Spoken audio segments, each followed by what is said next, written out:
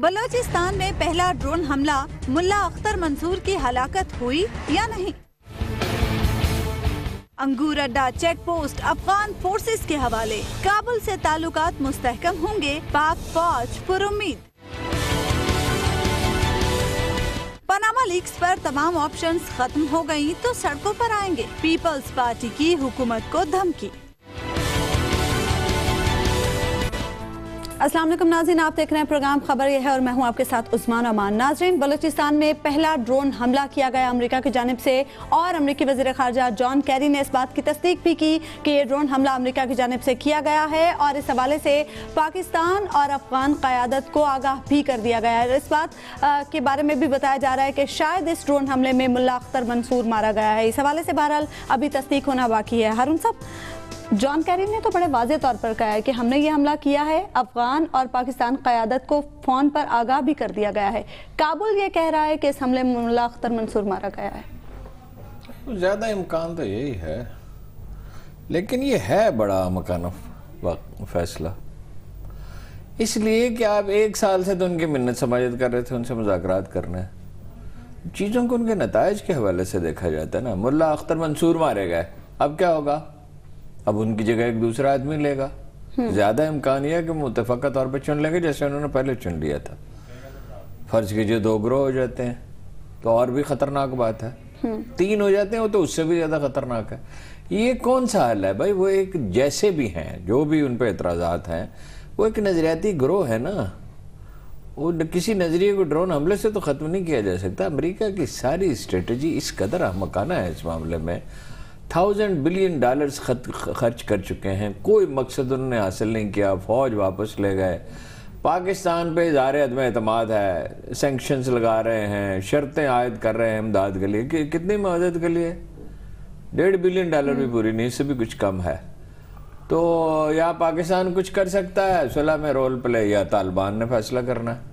जो लड़ रहे हैं। तो आप क्या करेंगे? और रोल किसको दे रहे हैं? प्रमोट किसको कर रहे हैं? इंडिया को। इंडिया क्या करेगा? इंडिया तो खराबी करेगा ना अगर इंडिया पाकिस्तान में प्रेशर बिल्डगा दी हमारी फौज मशरकी बॉर्डर पे लगी। इंडिया तो खराबी इंडिया क्यों स्टेबल और पुरमन अफ़गानिस्तान चाहेगा? मैं मैंने पहले भी कहा था लुई दुपरी आखिरी आदमी था अमेरिका में। वो खैर इंटेलेक्चुअल था मगर उसका कलेबर ये था कि जब सोवियत यूनियन ने इन्वेट किया तो उसे बुलाया गया पार्लियामेंट में खिताब करने के लिए। हम्म। कोई मुझे अमरीकी आज तक नहीं मिला। मैं बहुत मिलता रहूँ जो अफ़गानिस्तान पे काम करते थे जर्नलिस्ट और लोगों से डिप्लोमेट से। जो अफ़गानिस्तान के मसले को समझता अफ़गानिस्तान एक कबायली माशरा है। एक कंसेंसस बिल्ड करने की ज़रूरत है वहाँ पे अमन के लिए। हम्म। किसी एक ग्रोह की हमायत और किसी एक की मुखालविया तबाही से। तबाह तो खैर आप क्या कर सकते हैं? वो तो फ़ेमस हिस्टोरियन है ब्रिटिश क्या नाम है उसने कहा था कि अफ़गानिस्तान और मैसोपोटामिया यानी इराक यहाँ कौमों की किस्मत के सितारे बदल जाते turnabouts of the history इसको बहुत केयरफुली लेकिन ये करने की ज़रूरत है लेकिन ये जो इम्पीरियल ह्यूब्रस जिस चीज़ को कहते हैं इस्तेमारी घुमंड अमेरिका उसमें मुबतला है इसको कोई नतीजे निकलने वाले और ख़राबी इससे आएगी। हम्म। अफगानों के साथ मज़ाक करें और पाकिस्तान का उसके में मरकजी रोल है। पश्तून सबसे बड़ा ग्रुप है। अढ़ाई सौ साल से वो हुकूमत कर रहे हैं। ये स्टेट बनाई उन्होंने। अब ये पॉलिसी है उज़्बक ताजक और हज़ारा और इनको खुश करें और किसी तरह उनके साथ मामला कर लें। कोई अच्छा नतीजा वाला पाकिस्तानी बंदोबस्ती इलाकों में ये पहला ड्रोन हमला है। आपको नहीं लगता हमारी सॉवरेनिटी को ब्रीच किया गया देखिए ड्रोन हमला तो बिल्कुल एक इंच भी अंदर होगा तो वो हमारी सॉवरेनिटी तो ब्रीच हो गई हम्म। लेकिन इस ड्रोन हमले की ख़ास बात यह है कि ये जो आर सी डी शाहरा है हम्म। जो ता, ताफ्तान से नोशकी तक आती है ये उसके मिडल में तकरीबन यानी कोयटा और ताफ्तान के तकरीबन दरमियान में है। और बॉर्डर से आप यूँ कहिए कि रफली कोई 200 किलोमीटर अंदर आके हम्म। ये माम ये मामला हुआ ड्रोन अटैक्स हुए। तो ये तो एक बहुत ही डेंजरस ट्रेंड है। और उन्होंने अपना टारगेट जो है उसको मिस नहीं किया। दूसरी बात यह है कि जो टारगेट इस बात की तस्दीक हुई है? जी इस बात की तस्दीक हो गई है। मैं अच्छा, आपको जो अफगान जरा इस बात की देखिए मैं आपको जो आप फ़िलहाल मुझसे मेरे जराए ना पूछें हम्म। क्योंकि मामला ताज़ा है। हम्म। इसलिए मैं आपकी खिदमत में वही तमाम मालूम अर्ज़ करूँगा जो ताज़ा तरीन ठीक। अच्छा दूसरी इसमें ये बात है कि अभी तक जो दोनों एड्रेसेस एक एड्रेस पे तो दुनिया टीवी खुद पहुँच गया कराची में। जो एक बिल्डिंग का एड्रेस था वहाँ पर भी जो मजकूरा शख्स वली मोहम्मद है जो जिस पे असल क्वेश्चन है कि क्या ये मुल्ला मंसूर है या कोई और तो वहाँ पर भी वली मोहम्मद का सुराग नहीं मिला। और ताज़ा तरीन बात यह है कि किला अब्दुल्ला में भी जो एड्रेस दिया गया है इसका मुस्तकिल पते के तौर पर वहाँ पर भी इस नाम का कोई शख्स रिहायशी नहीं है। नहीं। एक खतरनाक बात यह है कि इसका जो पासपोर्ट है वो बिल्कुल असली है। अच्छा। और पासपोर्ट पे जो आमद हुई है उसकी ताफ्तान से हुई है। जो अब मालूम इकट्ठी हुई हैं तो पता ही चला है कि यहाँ पर ताफ्तान से पाकिस्तान में दाखिल होते हुए यानी ईरान से पाकिस्तान दब में दाखिल होते हुए उससे पहले ये ईरान में तकरीबन एक महीना इन्होंने गुजारा यानी मुल्ला अख्तर मंसूर मुबैना तौर पर जिन्हें कहा जा रहा है। और अगेन जो इस वक्त जो स्पेशलिस्ट हैं इस काम के वो कह रहे हैं कि हम 90 परसेंट श्योरिटी से ये कह सकते हैं कि ये मुल्ला अख्तर मंसूर ही है ये पाकिस्तान के जो लोग इन तहकीकात से वाबस्ता हैं ये उनकी राय अच्छा अब सवाल ये पैदा होता है यहाँ से आगे जो है वो तीन सवाल देखिए पैदा होते हैं। वो ये है कि अब नंबर वन इसका सुराख कैसे लगाएगा क्या अमेरिकन अफगान अमेरिकन इंटेलिजेंस ने लगाया या उनके साथ ईरान का नेटवर्क था शामिल? उन्होंने खबर दी। दूसरा खुदा न खास्ता खुदा न खास्ता ये कोई है कि क्या पाकिस्तान के अंदर से उन, उनकी कोई मदद हुई? और तीसरा यह है कि अफगान तालिबान के यानी अंदर जो इसमें इंटेलिजेंस शेयरिंग का इम्कान है? इंटेलिजेंस शेयरिंग एक इम्कान। इम्कान। तो अफगान तालिबान के अंदर जो धड़े हैं जैसे मिसाल के तौर पर मुल्ला अख्तर मंसूर जब बने थे तो मुल्ला उमर के जो भाई मुल्ला अब्दुल मन्नान और उनके साहबजादे मुल्ला याकूब वो दोनों इनके खिलाफ थे। तो कहीं ऐसा और उनको बड़ी मुश्किल से इन्होंने मनाया और एक को शूरा में फिट किया दूसरे को जंगी कमीशन का सरबराह बनाया। तो उन्हें बड़ी मुश्किल से अपने साथ मिलाया। तो कहीं ऐसा तो नहीं किसी अंदरूनी शाखसाना हो अंदरूनी धड़ेबंदी का कि जिसके नतीजे में ये इनसाइड जॉब भी हो सकती है कोई इन्फॉर्मेशन गई हो। देखिए पाकिस्तान के लिए ये बड़ी अजीब गरीब और मैं समझ थोड़ा सा शर्मिंदगी का मकाम है कि पाकिस्तान के अंदर ये वाक़ हुआ है पाकिस्तान के 200 किलोमीटर अंदर। शर्मिंदगी का या और फिर तशवीश भी बहुत है जी। देखिए अब हम अमेरिका से फैक्ट ये है लड़ तो नहीं सकते। हम अमेरिका के ड्रोन हमें मान लेना चाहिए कि इस ये जो मामला है ये उससे कहीं ज़्यादा पेचीदा है जितना हम इसको इब्तदाई तौर पर समझ रहे थे। अब वो वक्त आ गया है गालिबन। वो वक्त आ गया है कि जब हमें हमारी सिविल गवर्नमेंट को हमारे फौजी इदारों को और हमारे दीगर जो इंटेलेक्चुअल लोग हैं सहाफ़ी हैं जो समझते हैं अफ़गानिस्तान मामले को इनको बैठ के को मुश्तरका स्ट्रेटजी बनानी पड़ेगी। देखिए आप मुल्ला अख्तर मंसूर चाहे ता- अफगान तालिबान का अमीर आज है और कल कोई और हो। इस पर बात होगी कि कल कौन होगा। वो बात यह कि वो पाकिस्तान में आमदोरफ्त रहेगी बतौर महाजर उनकी। तो जब आमदोरफ्त रहेगी तो इस तरह के वाकत भी पेश आएँगे। अब आपको ये सोचना है कि इंटरनेशनली इसका मुकाबला कैसे करना है और इंटरनली कोई यकसू होकर कौन सी पॉलिसी बनानी है? मेरा ख्याल ये ये जिसे कहते हैं नीड ऑफ़ द टाइम है ये।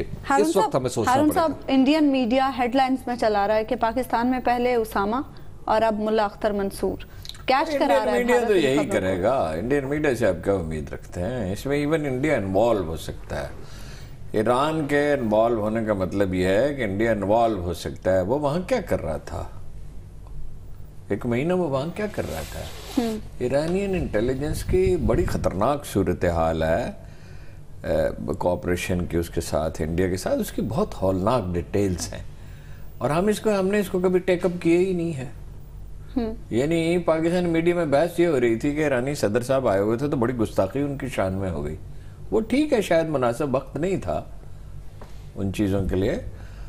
मगर इंडिया ने अब जो बहुत से और काम किए ईरान और अफ़गानिस्तान में उसमें से एक काम यह है कि इन ईरानियन मीडिया में बारह मैं एक्सप्लेन कर चुका हूँ और अफगान मीडिया में एक लफ्ज़ पाकिस्तान के हक में नहीं छपता उन्होंने इस पर काम किया है। और यहाँ कौन काम करेगा? परवेज रशीद नवाज़ शरीफ साहब।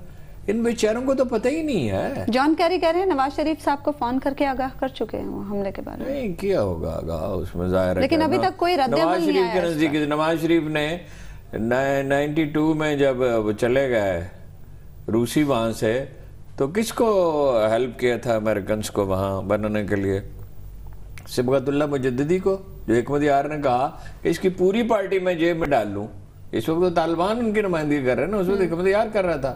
पूरी पार्टी जेब में डालूं तो कोई जगह बच जाएगी। तो हमने समझा कि कोई गुस्से में है एकमत यार वो वाकई ऐसा हुआ कि उसके ग्यारह में से पाँच कमांडर अगले दिन उसे छोड़ गए। सिबगतुल्ला मुजद्दी को हिजब इस्लामी में शामिल हो गया और जेब में कुछ जगह बच गई। हमने कब इस पे कोई प्रॉपर प्लानिंग की जालक के? भुट्टो के जमाने में कुछ प्लानिंग हुई जालक के जमाने में कोई प्लानिंग हुई? इसके बाद तो हमने कभी इसको प्लान ही नहीं किया। यानी फौज है जो करती है। अभी कुछ काम फौज के करने के नहीं होते। सिविल हुकूमत को ऑन बोर्ड होने चाहिए फॉरन ऑफ़िस को ऑन बोर्ड होने चाहिए। तो नवाज़ शरीफ का फ़ोन किया या नहीं किया उसकी बला से वो जा रहा है लंदन अपना इलाज कराने के लिए। और मर्ज उसका इतना सीरियस है कि ये पंजाब कार्डियालो इंस्टीट्यूट ये जो दो किलोमीटर के फासले पे यहाँ उसका इलाज हो सकता हबीब साहब कल चाबहार बंदरगाह का इफ्तः हो रहा है बलूचिस्तान में ये ड्रोन हमला। और इसके बाद जो सूरत हाल है सी पैक के हवाले से भी हम देख रहे हैं। डॉट्स को कनेक्ट किया जा सकता है? बिल्कुल किया जा सकता है। देखिए जो एक तो मैं पहले वो नवाज़ शरीफ वाली बात पे कर्ज करूँ। मैं इस बात पे एग्री करूँगा हारून साहब से कि नवाज़ शरीफ की जो पॉलिसी रही है ना माजी में भी वो अफ़गानिस्तान के मसले को बिल्कुल इमिजिएटली सॉल्व करने की रही है। कि उनकी पहले भी जब इकतदार में आए उन्होंने मक्का मुहिदा करवाया सब चीज़ें उनकी कोशिश ये थी कि बस किसी तरीके से मसला हल हो जाए। ठीक। बाद में उनकी अप्रोच बन गई 98 तक जब वो खुद प्राइम मिनिस्टर थे। कि अमेरिका जो अफ़गानिस्तान का मसला है अफ़गानिस्तान के अंदर जो जो भी गड़बड़ है उससे अमेरिका को ही निमटने दें। लेकिन अमेरिका इस अंदाज से निमटे कि उसके असरात हमारे ऊपर रहे। मिसाल के तौर पर आपको याद हो तो 98 में उसाम बिन लादन जब नैरोबी में अ, अमेरिकन जो एम्बेसी थी उसके ऊपर हमला हुआ था तो उसाम बिन लादन के ऊपर शक गया था। तो उस वक्त यहाँ पर एक कंपाउंड का सुराग लगाया गया था अफ़गानिस्तान में जिसके ऊपर कुछ मिसाइल फायर किए गए थे और मिसाइल फायर किए गए थे बहिर अरब में से। अच्छा। और पाकिस्तान के ऊपर से गुजरते हुए वो मिसाइल गए थे। ठीक। तो उस पर पाकिस्तान ने थोड़ा रस्मी सा एहतजाज किया था लेकिन एहतजाज नहीं हाँ, किया था लेकिन उससे ज़्यादा बस वो इस बात आई गई हो गई उसके बाद देखिए कि ये उसी पॉलिसी वही पॉलिसी आगे चली तो उसके बाद फिर ड्रोन आना शुरू हो गए। वो जब मिसाइल हमने बर्दाश्त कर लिए तो फिर तो फिर ड्रोन आना शुरू हो गए। जब हमने ड्रोन बर्दाश्त कर लिए कि हमारे बॉर्डरिंग एरियाज़ में चलिए 10-12 किलोमीटर के अंदर अंदर आ जाए फाटा तक महदूद रहे तो उसके बाद भी फिर ड्रोन जब बर्दाश्त तो बियर मोर भी आ गया। तो बियर मोर भी आ गया तो फिर अब आप देख रहे हैं कि ड्रोन आपके 250 किलोमीटर ठीक है वो कनेक्टिंग डॉट्स के तो- हवाले से भी हम बात करेंगे एक ब्रेक ले लेते हैं यहाँ पे हम नाजी और ब्रेक के बाद भी हम गुफ्तगू का सिलसिला जारी रखेंगे। Welcome back नाजिर। ब्रेक पर जाने से पहले हम बात कर रहे थे बलूचिस्तान में अमरीकी ड्रोन हमले और उसमें मुल्ला अख्तर मंसूर की हलाकत के मामले के हवाले से। हबीब साहब आप बात कर रहे थे कनेक्टिंग डॉट्स के हवाले से। चाबहार बलूचिस्तान में ड्रोन हमला और सी पैक देखिए बात यह है कि तालिबान जो है इस मुल्ला अख्तर मंसूर की हलाकत के बाद वो थोड़े परेशान हैं। अच्छा। और उसकी वजह सिर्फ़ एक ये तो एक वाक़या है इससे कुछ दिन पहले से वो परेशानी उनकी चल रही थी। वो किस वजह वो ये थी कि पाकिस्तान की तरफ़ से उन पर दबाव इसी प्रोग्राम में बात हो रही थी कि दबाव डाला जा रहा था कि आप मुलाकात करें और वो मुलाकात से इनकार कर रहे थे। अब मामला ये हुआ कि एक मौका ऐसा भी आया कि जिसमें तनाव इतना बड़ा उन्होंने कहा कि जनाब अच्छा जी हम तो फिर जा रहे हैं। यहाँ से हम छोड़ छाड़ के चले जाते हैं। यानी यहाँ तक भी बातें हुई। अब इस तनाव की वजह से कुछ ये गुमान गुजर सकता है बाज लोगों में और वहाँ पर अफगान अफगान तालिबान का एक धड़ा ऐसा है। या उनके अंदर कुछ ऐसे अनासर मौजूद हैं जो ये समझते हैं कि पाकिस्तान उनके खिलाफ इंटेलिजेंस शेयरिंग भी बाजों का पाकिस्तान के कुछ लोग कर देते हैं। अच्छा। ठीक है? ठीक। जब इस तरह की सूरत हाल बनती है तो फिर आप वो जो आपने एक अलग किया था ना जरब अजब के बाद बड़ी मुश्किल से टीटीए और टीटीपी को। टीटीए जो थी अफ़गानिस्तान में धकेल दी गई उन्होंने कहा कि भाई आप चलें आप अपनी कार्रवाई वहीं करें। और टीटीपी को यहाँ पे हम खुद क्रश कर लेंगे। ठीक। इस वाक्य के बाद अल्लाह ना करे अल्लाह ना करे। लेकिन खदशात ये हैं कि शायद टीटीपी और जो कलदम हैं जमातें जो दहशत गर्द हैं कहीं वो दोबारा अफगान तालिबान के गाइज़ में ना घुसने की कोशिश करें। और भी अकरम साहब अब पहले ही उनकी गाइडेंस में काम करते हैं। ये ठीक है कि पूरा कंट्रोल उनका नहीं है इसमें गैर जिम्मेदार अनासर बहुत है। लेकिन इनकी आइडियालॉजी एक ही है। कोई हाँ, ये एक तो एक ये भी बात है। अच्छा दूसरा उसमें और वो अगर ऐसा होता है खुदा न खास्ता खुदा न खास्ता ऐसा होता है तो वो आपका जो सी पैक का पूरा इलाका है जहाँ जहाँ से सी पैक गुजरेगा खास तौर पर डेरा इसमाइल अच्छा खान से लेके यहाँ ये। वाकया हुआ वो सी पैक में इसमें एक नुकता जो पैक समझने का तो है ना इनफैक्ट उस तरह बरह रास्त समझने की जो बात है ना सी पे को कौन रोकना चाहता है? भारत और अमेरिका। अमेरिका। और स्ट्रेटेजिक पार्टनर है वो। तो ये खतरनाक सूरत हाल है जिसमें से हमें गुजरना है उसे तामीर करना है उसमें गवर्नमेंट भी की भी कमिटमेंट है सिविल गवर्नमेंट की भी कमिटमेंट है। फौज की तो है ही बिल्कुल वाजे है। बार बार आर्मी चीफ तो बार बार उसका ऐलान करते रहते हैं। तो वो टारगेट क्या है? पाकिस्तान अमेरिका पे डिपेंडेंट रहे। इंडिया का गलबा रहे इस इलाके पे। चीन पे दबाव रहे। अब ये खुदा अगर इन्हें अकल दे कुछ सोचें तो हमारी पॉलिटिकल पार्टी तो इसमें सोचती ही नहीं है। कोई बयान अब तक आपने देखा है? इतनी देर हो कोई गई? बयान नहीं आया चौबीस घंटे हो गए तकरीबन। जी चौबीस घंटे हो गए। किसी को ये इसका फहम है कि क्या हो रहा है? दफ्तर खारजा अभी तो आप तो देखेंगे कि इमरान खान साहब किस चीज़ पे खिताब फरमाएँगे और सेनेटर सराजुल हक साहब किस चीज़ पे? और मौलाना फजलुर रहमान का दर्द सर क्या है? सर पनामा लीक्स और सियासत। पनामा लीग सियासत छोटे छोटे बहुत पैटी इंटरेस्ट अरुण साहब मामला भी तो नाजुक है ना। मामला नाजुक भी है पेचीदा भी है। और नाजुक है तो क्या हम तो उसे हमारे लीडरशिप तो यही काम है ना। अगर मरीज़ जो है वो जख्मी हो मामला उसके नाजुक हो पेचीदा हो तो सर्जन को ज़्यादा तवज्जो देनी चाहिए ना। तो ये कैसे मालिज हैं जिन्हें ना मरीज़ की फ़िक्र है ना मर्ज की फ़िक्र है ना इलाज की फ़िक्र है? जिन्हें फ़िक्र ये है कि हमारी जेब में पैसे कितने जाते हैं फ़ीस कितने मिलती है? हम और आप बात कर सकते हैं हबीब साहब तो ये लोग क्यों बात नहीं कर सकते? होती है वो एक मेरा ख्याल है कि उन्हें थोड़ी पोजीशन को एहतियात से बात करें मगर बात तो करें। ना। अगली थोड़ी देर में हो जाएँगे। प्रॉब्ली तो फिर कल लोग बयान भी देना शुरू कर देंगे। जी क्या बयान देंगे? हम जानते हैं ना इस पे। वो जो अपना बलूचिस्तान वाला है वो क्या करेगा? और सेनेटर सराजुल हक क्या करेंगे? और इमरान खान साहब क्या करेंगे? और सरकारी पार्टी के हमें अंदाज़ा है ना उसका? अच्छा अरुण साहब मुल्ला उमर की मौत के बाद अफगान तालिबान में धड़ेबंदी हुई थी। क्या अब भी ऐसा ही होगा? अगर ऐसा हो तो फिर का ऑप्शन बचेगा। देखिए प्रिडिक्ट नहीं किया जा सकता। मेरा ख्याल है कि वो मुत्तफिका पहले भी इख्तलाफात हुए थे तो उन्होंने कर लिया था ना मैनेज। वो अब भी मैनेज कर लेंगे मेरा ख्याल है। लेकिन फ़र्ज़ कीजिए दो ग्रुप बनते हैं तो, तो और भी खतरनाक है। उससे ना अमेरिका को कोई फ़ायदा होगा ना पाकिस्तान को फ़ायदा होगा। आप उनसे बात करना चाहते हैं? या उन पे हमले करके उन्हें खत्म कर देना चाहते हैं? वो पॉलिसी तो तय करें अगर बात करनी है तो आप ये कैसे कर सकते ये हैं? तो डबल पॉलिसी है हमकाना पॉलिसी है डबल पॉलिसी क्या? ये तो हमकाना बात है ना एक जिस शख्स से आप उस वक्त चौधरी निसार अली खान का बड़ा मज़ाक उड़ाया गया आज तक उड़ाया जाता है। जब उसने कहा कि इस वक्त ये हमला नहीं होना चाहिए था वो किसी ने ये नहीं सोचा वे उससे मजाकरात कर रहे हैं जो भी वो आदमी था बहुत बुरा था। मजाकरात के दरमियान हमला कैसे हो सकता है? सही बात है। अच्छा हबीब साहब हबीब साहब आपको क्या लगता है? मुजाकरात का ऑप्शन दोबारा तो खुलेगा? उसको क्लोज ही समझें। आप ऑप्शन इस वक्त खत्म हुआ। इस वक्त अभी तो खत्म हो गया। आने वाले टाइम आने वाले टाइम में भी मुझे लगता है कि ये नवंबर दिसंबर में जाके कहीं बात सोची जाएगी मुजाकरात की। देखिए अब जो वहाँ पर जो अफगान तालिबान के अंदर जो है धड़ेबंदी थोड़ी सी मौजूद तो है। वो जो फिशर्स मुल्ला उमर ने छुपा रखे थे ना उनकी जात के पीछे क्यादत के पीछे छुपे हुए थे वो कुछ लकीरें अब दराड़े रूनुमा हुई हुई जैसे मुल्ला अख्तर मंसूर के दौर में बड़ी मुश्किल से बाज जगह लड़ाइयाँ हुई लोग मारे गए वो इत्तफाक राय पैदा करने के लिए। अब जो मामला है अब मुझे लगता है कि वो ज़्यादा दरारें वाजे हो जाएँगी। अच्छा। थोड़ा सा हो सकता है कि मुल्ला अख्तर क्योंकि इस वक्त भी अफगान तालिबान अगरचे तरदीद कर रहे हैं कि जनाब अ, मु- मुल्ला अख्तर मंसूर को कुछ नहीं हुआ लेकिन उनकी तरदीद बेमानी इसलिए है कि वो मुल्ला उमर के बारे में भी यही कहते थे कि उन्हें कुछ नहीं हुआ। तो लिहाजा इस वक्त दुनिया तो उनकी तरदीद नहीं मानेगी। और दूसरी बात है कि वहाँ पे एक शूरा का। इजलास भी चल रहा है। जहाँ पर एक मसला भी। वहाँ पे कुछ मुशावरत भी तय हो रही है और उसके कुछ इशारे भी बाहर आए अब उन्हें गालिबन ब्रेक लेनी है तो उसके ठीक बाद है एक ब्रेक ले ले वेलकम बैक नाज़रीन पाकिस्तानी फौज ने जनूबी वजीरिस्तान के साथ मिलने वाली पाक अफगान सरहद पर कायम अंगूर अड्डा की चेक पोस्ट अफगान फोर्सेस के हवाले कर दी है। हारून साहब अंगूर अड्डा की इम्पोर्टेंस क्या है? अंगूर अड्डा बहुत अहम है स्ट्रेटेजिकली लेकिन वो चेक पोस्ट इसलिए उनके हवाले की है कि गुडविल जेस्चर है। वो हमारी पॉलिसी ठीक है यानी हम ये भी साथ कोशिश करते रहते हैं कि उन्हें कुछ ना कुछ कंफर्टेबल रखें। अच्छा। उसका नतीजा कोई नहीं निकलता वैसे।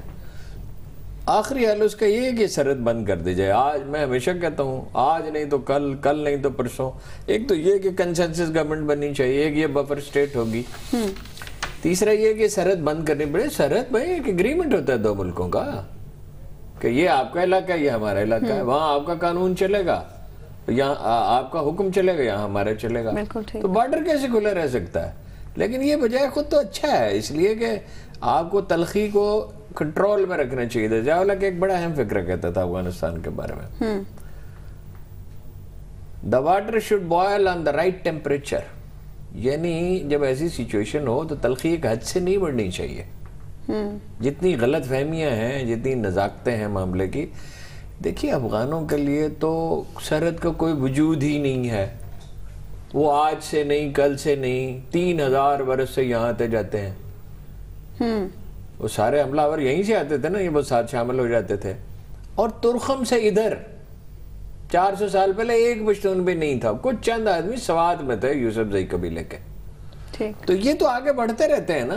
कितने लोग सेटल हो गए अफ़गानिस्तान या इमरान खान साहब ने पेशावर में जो सीट जीती थी जिस आदमी को दी थी टिकट वो अफगान था पाकिस्तानी तो नहीं था। अच्छा। हाँ बियॉन्ड डाउट जाली शनाख्ती कार्ड बना लिया था बीस पच्चीस साल से रह रहा था। ये मसला तो कभी ना कभी हल करना चाहिए इसमें दस बिलियन डॉलर खर्च हो। कितने भी हो। एडमी प्रोग्राम से ज़्यादा तो नहीं होंगे ना। आपको बॉर्डर महफूज करना है और उस पर सहूलत दे दें इसलिए कि दोनों तरफ़ आबादी है ना पश्तो स्पीकिंग तो उस पर सहूलत आने जाने की होनी चाहिए मगर उसकी कोई मॉनिटरिंग तो होनी चाहिए। आप ये तो नहीं कर सकते ना कि दो दफ्तर हैं। मुल्कों को तो छोड़िए दो दफ्तर एक साथ हैं उनके दरमियान कोई दीवार ही ना हो। और जो आदमी चाहे जहाँ मर्ज़ी आए जाए जो मर्ज़ी देखता करे। हबीब साहब आपको क्या लगता है इस फैसले के रिपरकशन क्या होंगे? देखिए ये जो अंगूर अड्डा जगह है ना इसका इसकी हवालगी पे मेरे थोड़े से कंसर्न हैं। मैं जब सुबह मैंने ये खबर पढ़ी कल से भी मुझे थोड़ा इसके बारे में इल्म था तो मेरा ख्याल ये था कि ये इंतहाई गलत फैसला है। लेकिन ज़ाहिर है जब आहिस्ता आहिस्ता तफसीत मालूम करता है डिटेल्स में जाता है तो बहुत सारी चीज़ें फिर दीगर पता चलती हैं। मेरी राय की शिद्दत में कमी आ गई है लेकिन राय नहीं बदली।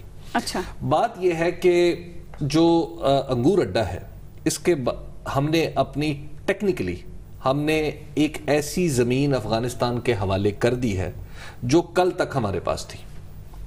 अच्छा अब यानी ये मामला टेरिटरी हमने उनको देखिए अब ये मैं टेरिटरी नहीं मैं ऐसी लफ्ज नहीं, ज़मीन ज़मीन। तो नहीं देंगे उनको, ये ऐसी ज़मीन थी जो हमारे पास थी हमने अफ़गानिस्तान को दे दी। चाहे वो एक इंच थी चाहे वो एक फुट थी चाहे वो एक किलोमीटर तो कि जब मैंने इसकी तहकीक इसका कोई टाइम फ्रेम भी देखिए मुझे पता चला। डेफिनेटली होगा जब ये डिटेल्स आएँगी सामने तो फिर पता चलेगा। ये थोड़ी हो सकता है। ये तो हुकूमत पाकिस्तान को इख्तियार ही नहीं है कि अपनी कोई तो मुझे ये पता चला कि ये जो ज़मीन है अंगूर अड्डा की ये बुनियादी तौर पर पाकिस्तान की थी ही नहीं।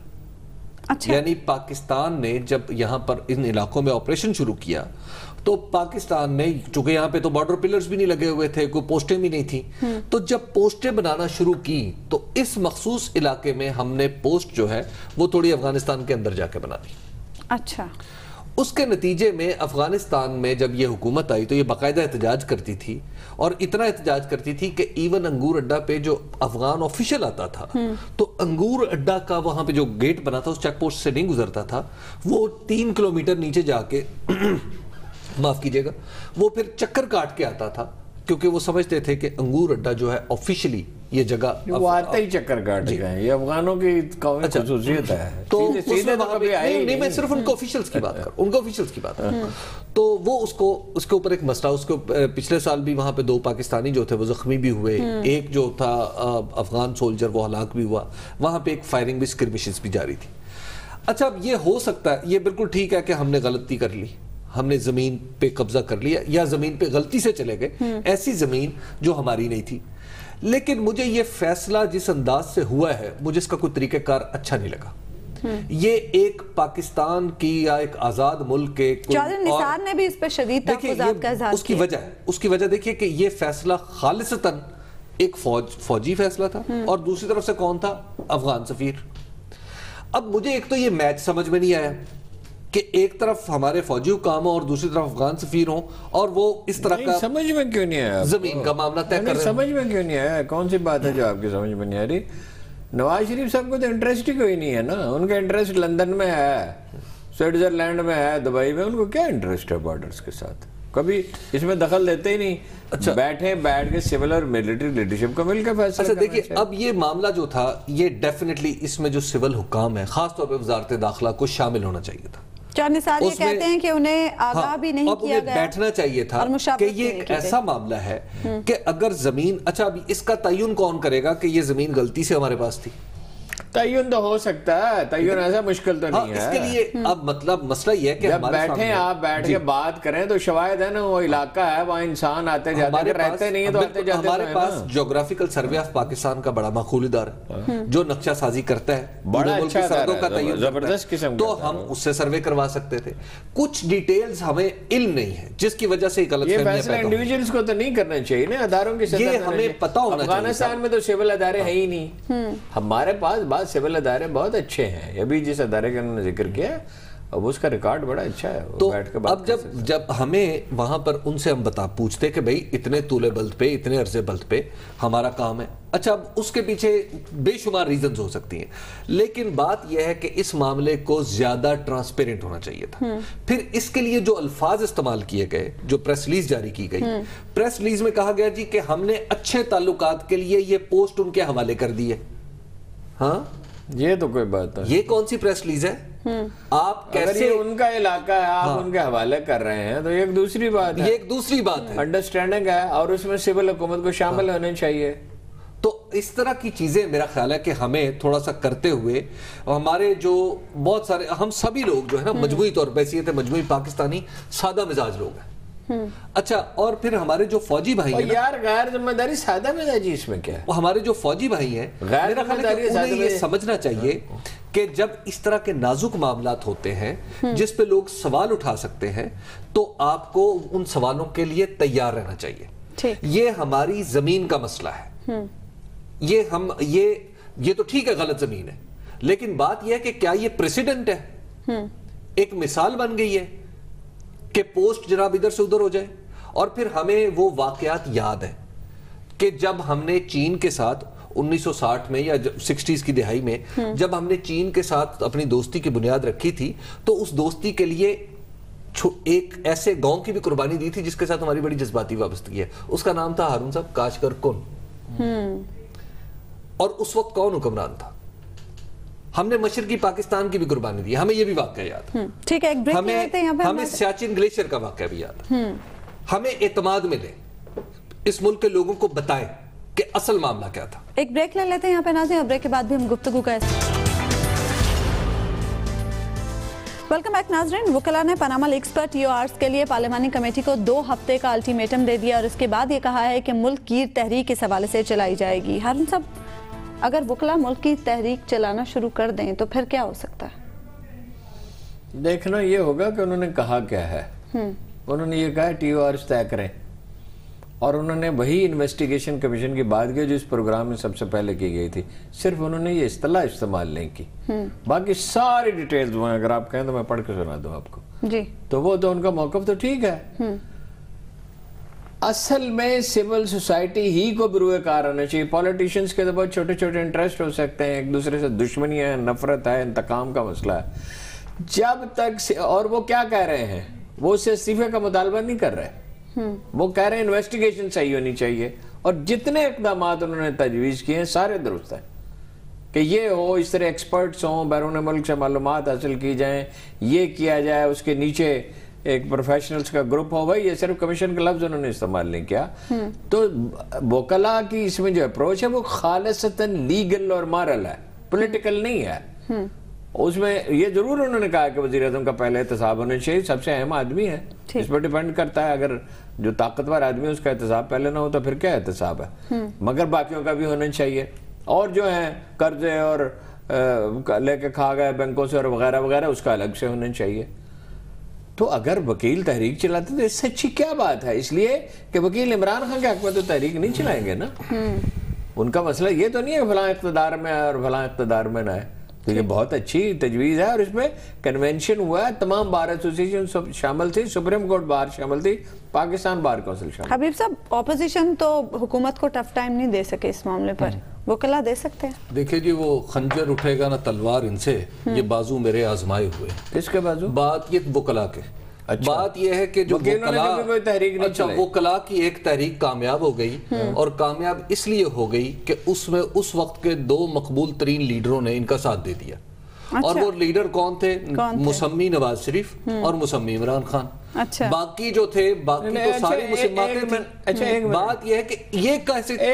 यार वो अपना वकीलों का मौकफ ठीक है या नहीं ठीक अच्छा वकीलों का मौकफ मैं वो भी अर्ज़ कर देता हाँ। हूँ अब वकीलों का मौकफ तो चले वो क्या है वो तो अगली बात है अब वकील कर क्यों रहे हैं असल बात है कि वकला के चंद नुमाइंदगान जो बड़े हैं नहीं अच्छा एक बात बुजुर्गवार एक मिनट एक मिनट एक बात आपका इतना सदमा क्यों पहुँचा सुन- उन्होंने तो उसूली मौका तो रखता है मैं उस उसूली मौकिफ को सदमा खोल के क्यों हुआ बयान- इतना आपको? मैं उस उसूली मौकिफ को तो resolution किया उस उसूली मौकिफ को जरा खोल के बयान कर रहा हूँ अच्छा। अच्छा। असल जो वकला के जो नुमाइंदे ज़्यादा वहाँ पे शोर मचा रहे थे उनके बुजुर्गवार भी जनरल परवेज मुशर्रफ के साथ ही थे अच्छा। और उसके लिए आईनी तो।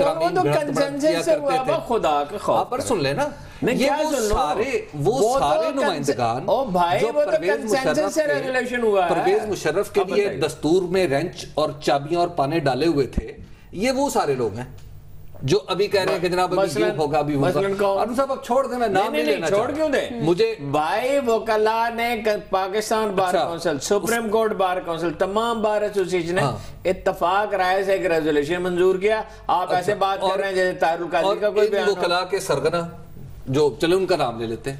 वो थे इतजाज एहसन साहब जो उस जमाने में। इतजाज एहसन साहब एक कंपेन चलाया करते थे जब तक इन्हें सैनिटरी नहीं मिली थी। ये सदर आसिफ अली जरदारी के सेनेटर क्या होती है? सेनेटरशिप मैं असल उनकी से- का उनकी सेनेटरशिप जो है उनकी उनकी जो है माफ़ कीजिएगा। मैंने उर्दू मुहावरे के मुताबिक सेनेटरशिप को वो उसमें डाल दिया। है। तो जो सेनेटरशिप जो है जब तक उनको नहीं मिली थी उन्हें सदर हसन की वजह से ये लगते थे। रेजोल्यूशन अब बात ये है। आपकी बात से ये पता चला कि आपको बड़ा सदमा हुआ। वजह नहीं समझ आ रही है आपको क्यों अब जैसे- जैसे- एतजाज हसन ना उनके सुप्रीम कोर्ट बार के अहदेदार है ना नहीं, नहीं, मैं पाकिस्तान कब बार कह के रहा हूँ, मैं कब अहदेदार कह रहा हूँ हैं। उनके ना उनके कहने इशारे पे लोग अच्छा, चलते हैं। लेकिन एवरीबॉडी एवरीबॉडी उसमें दो ग्रुप हैं। हाँ। और उसमें किसी में एतजाज हसन साहब नहीं है। एतजाज हसन साहब का जो भी मौकफ हो उससे आप इतफाक करें इख्तलाफ करें। ये एतजाज हसन के आपको सदमा बहुत हुआ ये तो ज़ाहिर है। अच्छा जान का अब वक्त खत्म इत्तेजाज हुआ, हसन साहब जो पता हैं, नहीं चला। इत्तेजाज हसन साहब जो हैं असल बात यह है कि जैसे जैसे उनकी सेनेटरशिप की मुद्दत खात्मे के करीब आ रही है। सेनेटरी वही कहने ठीक है। सेनेटरशिप की जो मुद्दत खात्मे के करीब आ रही है तो मुझे यूँ लग रहा है कि उनके लहजे में तलखी भी बढ़ती चली जा रही है। अच्छा। ठीक है अब वो कुछ गवाहों से ज़्यादा तेज हैं। मुद्दइयों से ज़्यादा तेज चल तो भाई एतजाज है? हसन का और इसमें रोल ही कोई नहीं। अच्छा और ये ये बहुत सारा जो सब कुछ हो रहा है ना वो कला के तो अंदर भी। पाकिस्तान बार उसके पीछे किसने भी भड़का दिया उसके पीछे भी हमारे जो एतजाज हसन साहब हैं उन्होंने और कुछ नहीं तो कुछ नुक्ते ज़रूर फराहम किए अच्छा। और ये जो नकाब तो क्या ये वो मेंबर नहीं उनका हक नहीं है? इन नुकतों के ऊपर नहीं है? इन नुक्तों के ऊपर। आप इस सवाल के इसको छोड़ दें। नहीं वो वकील है मैंने मैं नहीं छोड़ आपको इतना सदमा जो पहुँचा है शदीद साहब इन नकात के ऊपर सिर्फ़ एक घर बन सकता है जिसे कहते हैं ताश के पत्तों का जो सिर्फ़ अल्लाह ने के बाद हुआ?